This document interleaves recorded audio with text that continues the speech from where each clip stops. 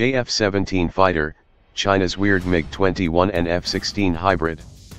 China's JF-17 Thunder multi-role fighter is one of China's most successful aerospace exports.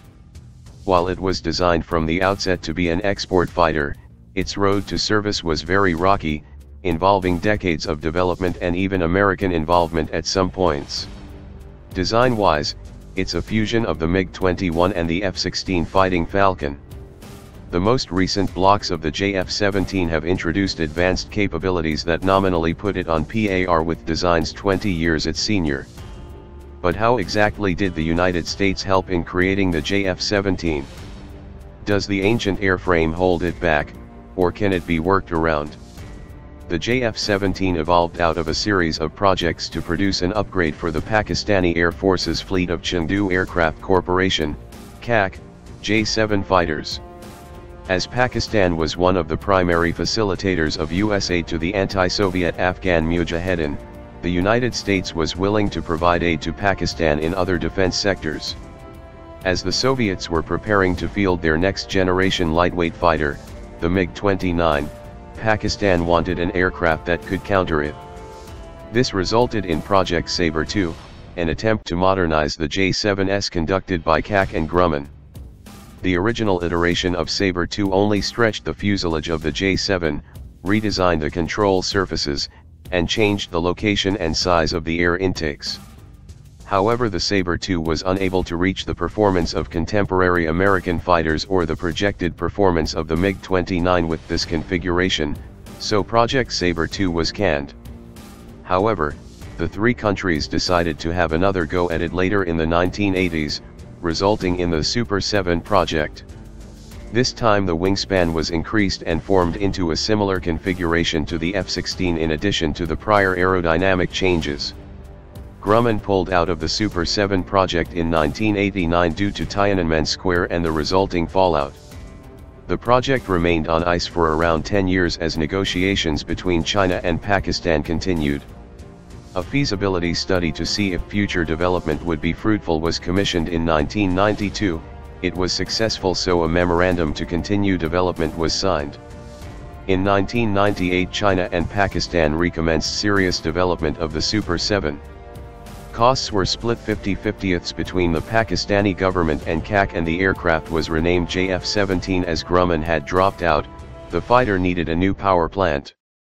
A solution was found in the Russian Mikoyan Design Bureau, which offered the Klimov RD-93 engine which was originally designed for the cancelled MiG-33 fighter jet. The RD-93 was an advanced version of the RD-33 used on the MiG-29, however, only one RD-93 is used on the JF-17 in contrast to two RD-33s in a MiG-29. Another key innovation that occurred during the development process was the inclusion of diverterless supersonic intakes, DSI, on the JF-17 design.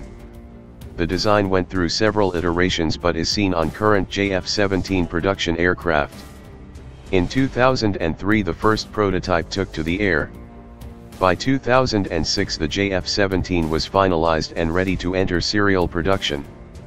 It was formally adopted in 2007. The first fully Pakistani manufactured JF-17 was created in 2008. The JF-17's designers have proven adept at keeping up with the times following its entry into service. The initial run of fighters for Pakistan have been referred to as Block I JF-17s. Block 2 JF-17s introduced a multitude of new capabilities and upgrades, including composites in the airframe for reduced weight, air-to-air -air refueling, a full fly-by-wire system, and a better radar. China offered to replace the Russian RD-93S with their own WS-13 in Block 2 JF-17S, but Pakistan opted to stick with the Russian engine. For the Block 3, China hopes to add an AESA radar to the JF-17 and further improve the avionics and weapons compatibility of the JF-17.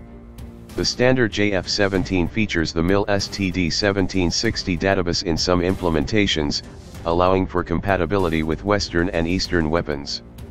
One potential weakness of the JF-17 is its internal cannon, which is still the double-barrel GSH-23, a legacy of its MiG-21 heritage.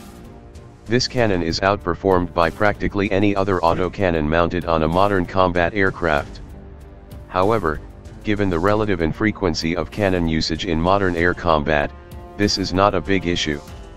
The largest advantage of the JF-17 is its cost. At only 15 million per plane in its most basic configuration, the JF-17 is far cheaper than any of its competitors, even used. Block 2 JF-17s cost around the same margin, with Myanmar buying them for only 16 million per unit. This has been the key to the JF-17s export success.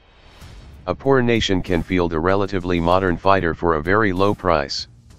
It is yet to be seen whether it can actually perform at its price point in combat, but Pakistan seems to be satisfied with what the JF-17 can do in trials.